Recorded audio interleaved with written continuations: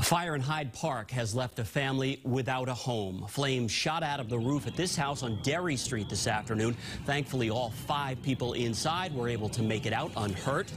Firefighters were able to knock down the flames before they spread to nearby homes, but the damage to the house is estimated at about $200,000.